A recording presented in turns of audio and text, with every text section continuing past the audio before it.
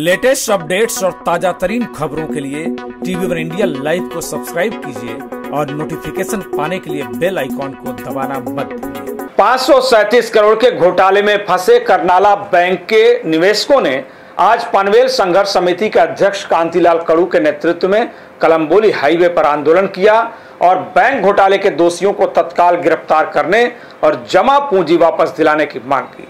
आंदोलन का नेतृत्व करते हुए कांतिलाल कड़ू ने राज्य की महाविकास आघाड़ी सरकार और सीआईडी की भूमिका पर भी सवाल उठाया और करनाला बैंक का लाइसेंस रद्द करने और दोषियों की संपत्ति जब्त कर खाता धारकों का पैसा चुकाने की मांग की।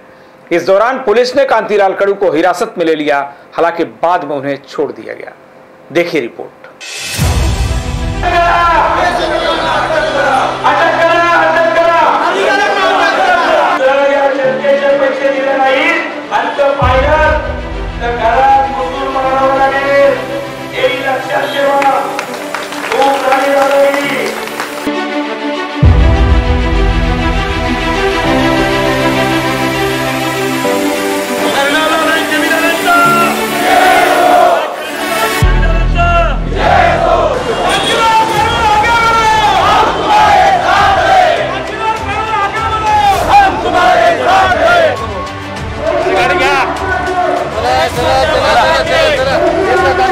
मित्र मित्र ये, मित्र।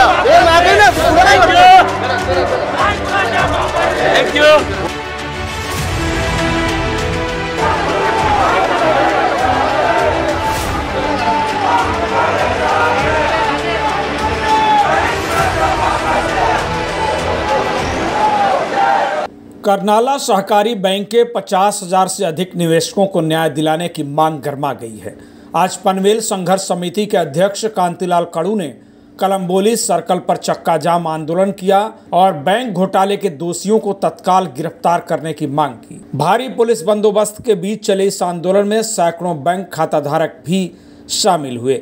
कांतिलाल कड़ू ने कहा कि बैंक निवेशक मुसीबत में हैं, लेकिन घोटाले की जाँच कर रही सीआईडी संचालकों के गिरफ्तारी को लेकर गंभीर नहीं है। कांतिलाल कड़ू ने मांग किया कि जिन जिन संचालकों ने निवेशकों के पैसों पर डाका डाला है, उनकी संपत्ति जब्त कर खाताधारकों का पैसा वापस दिया जाना चाहिए। उन्होंने स्थानीय बीजेपी नेताओं के आंदोलन और प्रयासों को दिखावटी बताते हुए उस पर सवाल उठाया और निवेशकों को भरोसा दिलाया कि जब तक खाताधारकों का पैसा नहीं मिल जाता, पनवेल संघर्ष समिति चुप नहीं बैठेगी।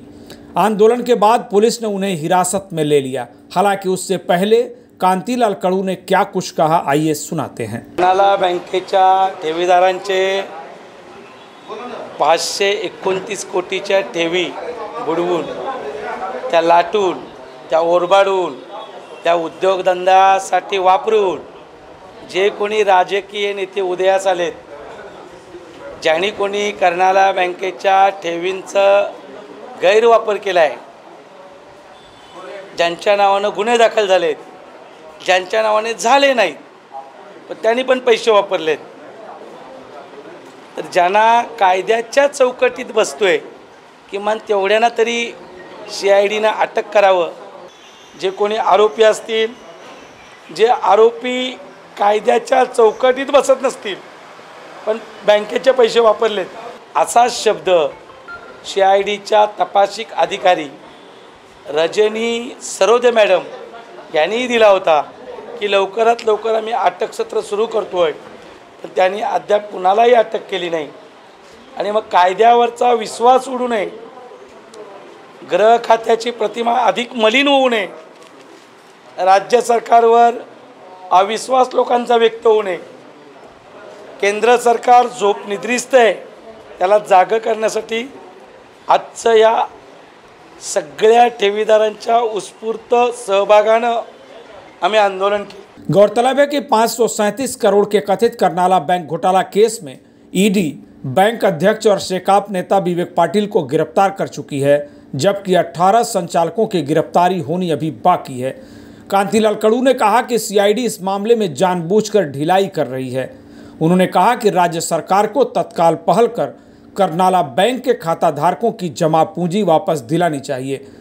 कांतिलाल कड़ू ने यह भी चेतावनी दी कि यदि सरकार और सीआईडी ने जल्द गिरफ्तारी और कार्रवाई नहीं की तो इससे और भी तीव्र आंदोलन होगा। सर्व ठेवींना सुरक्षित करण्यासाठी विम्याचा हप्ता भरला. कुणी? पनवेल संघर्ष समितीने. तेव्हा सहा महिन्यासाठी सुरक्षित झाल्यात. त्या शेका पक्षाने केले नाही आहे त्या भाजपनी केले नाही आहेत त्या कुठल्या नेत्यांनी कार्यकर्त्यांनी केले नाही आहेत बातमी वाचा त्यांच्या वर्तमानपत्रातली. साडेसहाशे कोटीचा घोटाळा झाला म्हणून छापतात. म्हणजे त्यांना घोटाळा किती झाला हे पण माहीत नाही. ईडीला भेटलो कोणाला भेटलो माहीत नाही. त्या पनवेल संघर्ष समितीने त्यांना त्याच्यासाठी बैठका घेऊन वसुली करायला लावून केल्यात. तर ते पाच लाख मिळावे. याच्यासाठी पहिली मागणी काय आहे? पहिलं पाऊल आहे की आता बँकेचा परवाना रद्द केला पाहिजे. कारण बँकेचे आर्थिक व्यवहार झालेले नाही आहेत रिकव्हरी झालेली नाही आहे बँक मृतावस्थेत आहे आणि अशा स्टेजला बँक आली तर रिझर्व्ह बँक तिचा लायसन रद्द करते. माझं काम आहे ठेवीदारांना पैसे देणं आणि ते देणार. मग मला अटक हो माझ्यावर गुन्हे दाखल होत मला जेलमध्ये टाकवत काही जे जे लागेल ते ते करून आम्ही आंदोलन पुढं नेणार आहोत पुढं आंदोलन करणार आहोत. आणि सर्व ठेवीदारांना पन्नास हजार सहाशे एकोणनव्वद ठेवीदारांना त्यांच्या सर्व ठेवी परत मिळवून देण्यासाठी आमचे प्रयत्न असतील. Bureau report T V one India.